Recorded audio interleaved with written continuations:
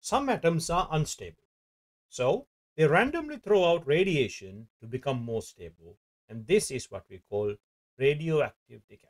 So here you can see an unstable nucleus and that can give out gamma radiation, beta particles or alpha particles to become more stable. So alpha is alpha 2 4, beta radiation, beta minus. There are two types as plus and minus, but in GCSEs you can just consider that to be beta minus. And gamma radiation is like that. Now you need to know about the nature of these things.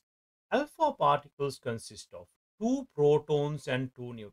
So alpha particle, two neutrons and two protons. Now this is identical to a helium nucleus.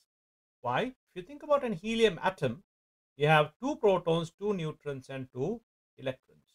Now if you get rid of these two electrons, you are left with the nucleus which is identical to an alpha particle. So two protons and two neutrons.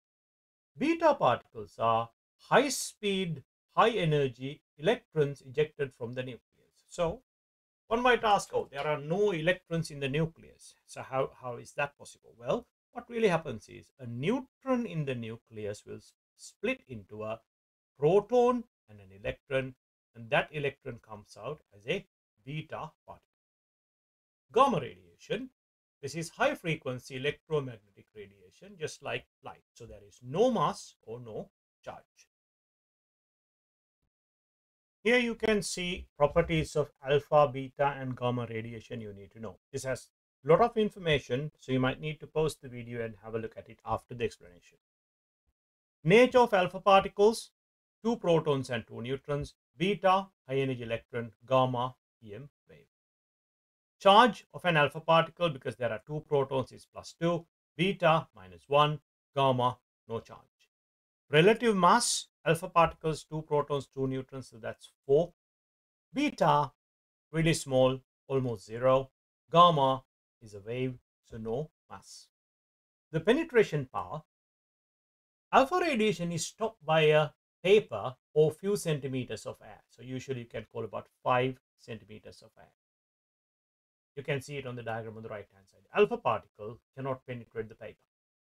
Beta radiation can go through a paper, no problem, but it's usually stopped by about 3 millimeters thick aluminium. You can see it here. It gets stopped by that. Gamma radiation is reduced by thick lead or concrete.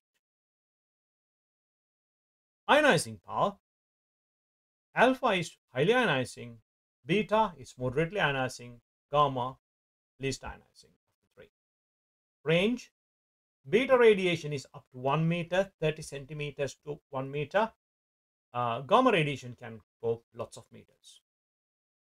If there's an electric field, the alpha particles will change the direction because it has a charge, plus 2. Beta radiation also change direction because it has a charge, negative 1. But gamma radiation has no charge, so it will just not bend. It will go straight through. Speed, alpha particles are relatively slow, like it's still fast, but relatively. Beta faster than alpha. Gamma radiation go at the speed of light, which is 3 times 10 to the power of 8 meters per second. Uses.